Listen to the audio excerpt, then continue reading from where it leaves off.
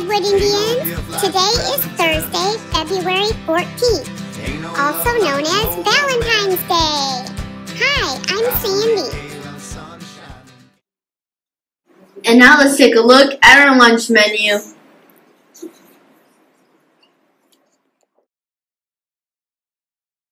Due to the snow days, we will be having the cook's choice. And now let's see who's celebrating a birthday today.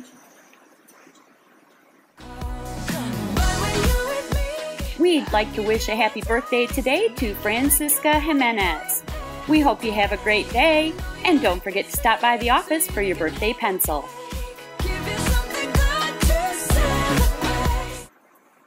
Today there will be after school reading club from 3:15 to 4:15 p.m.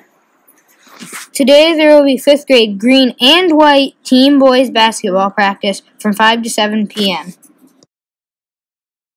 Don't forget, tomorrow is Pajama Day!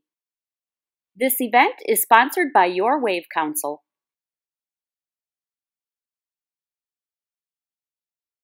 Kid Factor 2019 sign-ups have begun. This is a talent show for the kids of our community to show off their talent and have fun doing it. There will be a total of four practices. We ask the kids make at least two of them. If you want to be in Kid Factor, please get a sign-up form in the office. Plus, have parents fill it out, then turn it in by February 20th in the office. Hey, Redwood family! Did you know that there is a lost and found at the office for small items like money, jewelry, and other small things?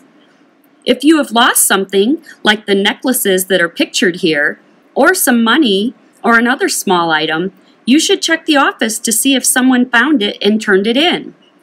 And if you find something small, you can be a hero and take it to the office where it can be reunited with its owner.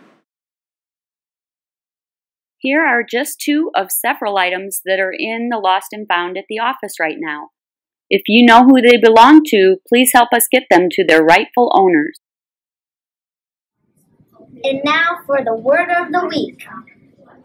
Hi, this is your ESL team, and our word of the week is cognate.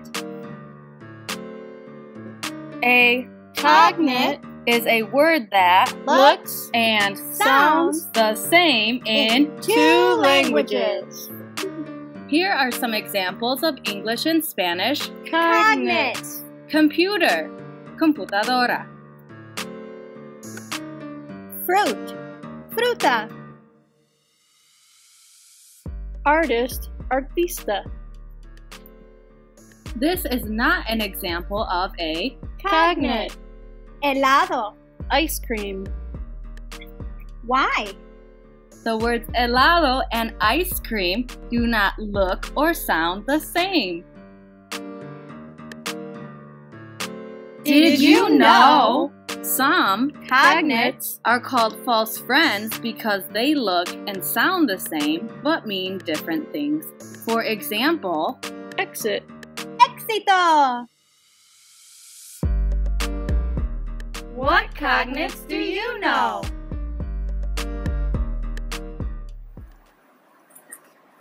And now please stand for the pledge.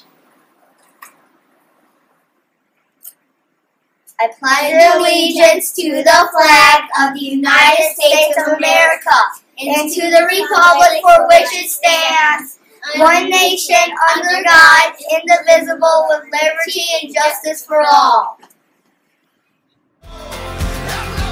Have a great!